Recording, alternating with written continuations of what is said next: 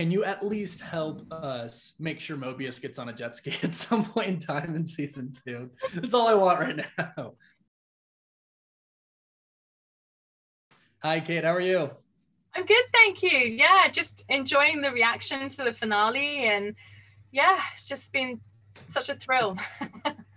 well, I absolutely, truly loved Loki. It is not just my favorite Marvel Disney Plus series now, but just my favorite Disney Plus series at all. What do I and the fans have to do to convince you to come back for season two? Because you crushed it. It was just that it was amazing.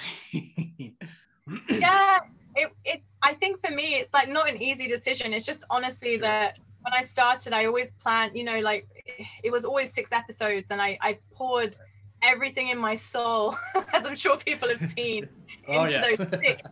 yeah. And like I, I'm so happy I got to work with Marvel and I hope we do again. And I just I'm so proud of all the work we did, but I just feel like this is my bit for this part anyway of Loki's story. I feel like it's done and yeah, and I'm very proud of the work we did, and I'm I, am i am really excited to see where they take season two though. And yeah, nothing but love and respect for everyone involved, and I'm I'm I'm really excited for what Fresh Eyes will bring as well. So yeah, and, and you truly it was a great great series. That ending was amazing to me. You, it did really seem like you poured just everything into it. So thank you so much for that right away. Can you at least help us make sure Mobius gets on a jet ski at some point in time in season two? That's all I want right now. It's been so funny, so funny because like me and the team, like Marvel and the writers, we've all been talking about it because they're like, man, people like we definitely missed the trick not getting him onto a jet ski. People are like, but I've seen some amazing cosplay of two, I think oh, the Loki yeah. and previous cosplayers. Like they were both on a jet ski together, which was incredible. But um, wow. yeah, it was very cool. I recommend checking it out. I probably Google it. Have to. Yeah, yeah I'm gonna have to. I can't miss that. That's gotta be awesome. Well, I hope we get to see that. Um, now that Loki is out and you've you know taken some time away from it and you've watched it and you've seen the reactions, is there anything that perhaps looking back on it that you wish you had included or executed differently, or maybe something that was deleted that wasn't included in it? Do you know what? I would say no only because like I I just feel like you know we all work very hard on the story and there's always so much more road to travel right? Like you know Sylvie sure. we've scratched the surface on like what's her background like where what was it like growing up in these apocalypses? Like you know we see her as a child but then we join her as an adult and there's this big bit in the middle of her life that we don't get to dig into. And I think there's just so much that I, I'm really proud of. Honestly, we had to cut a few scenes, but that kind of is the nature of filmmaking. You know, like you you collect all this stuff together and then you almost rebuild it again in the edit. And then sometimes stuff. I mean, we had a scene in episode one that was funny in the memories with Loki, but it just was so near Frigga and it didn't feel like it was giving that respect oh. the right ah. way. So we took that out. But yeah, but honestly, I just yeah, I'm really happy with how the story shaped up. I yeah, I like it. No, I, I think everybody really loved it. I, I don't think I've seen bad reviews for it at all, like at all. I I think everybody's pretty much on cloud nine with you right now, just about how great it was. So again, thank you to you and the whole entire team. Um, you know, you mentioned Sylvie. I really want to talk about Loki and Sylvie because I love their chemistry together. Sophie and Tom. Uh, Tom Hiddleston, of course, is so charming, and Sophie brought that as well. And it seemed like Sylvie was really, really the only one who kind of truly had an impact on Loki, besides his mother, of course. And it just seems like there's a lot there to be explored as well. So even though you're not coming back for season two, is there something you would like to see explored with the two of them? Them get together, stay apart, conquer worlds together. Um, anything you'd personally like to see happen?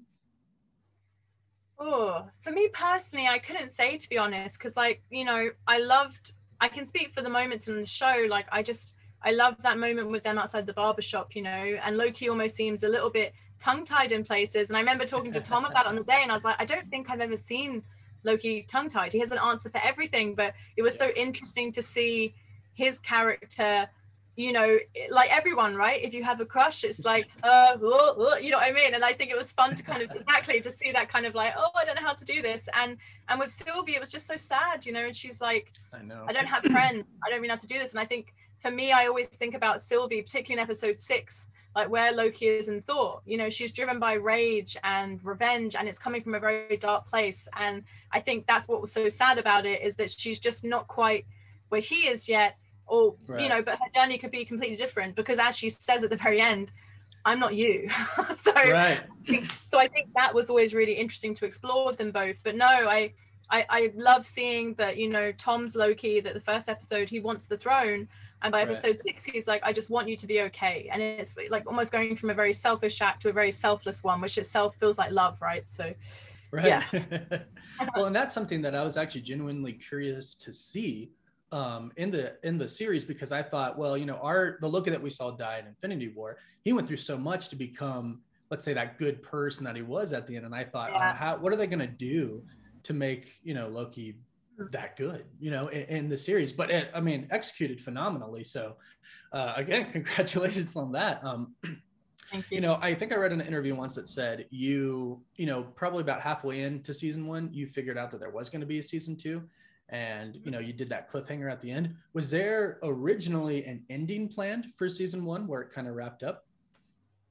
No, I we basically i think that's the thing we were always in a state of like evolution and like when i joined you know like the writers had crafted that you know loki and sylvie would go to the end of time and they would go to the citadel and they would meet he who remains mm-hmm. and we didn't know exactly how at that point but we knew the multiverse would like come out of this and that's sure. how that's how it would end so that was always kind of the ending we were working towards the ending i would say we didn't have set in stone yet was obviously Loki going back to this other TVA and that twist. And that came in later.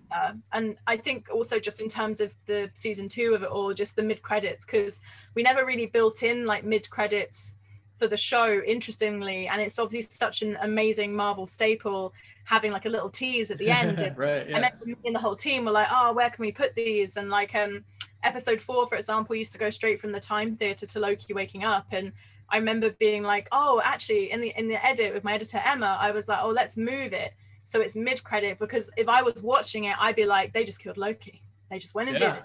Course, again, again. So I just thought, okay, well, that'll be really satisfying. And then also, it's all the more satisfying because then he wakes up and it's like the amazing right. variant of himself. So that felt like a really fun mid credits there. And I felt like, oh, that's really fun to give that nod to that amazing Marvel kind of, you know, the thing they do.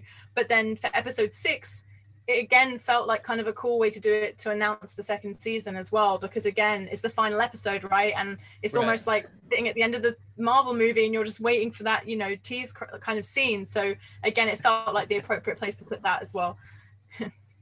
Yeah and what a great you know for also didn't know like what a great surprise for a season two. The season one was phenomenal. I wish you had more time to talk because i'd ask you so many more questions.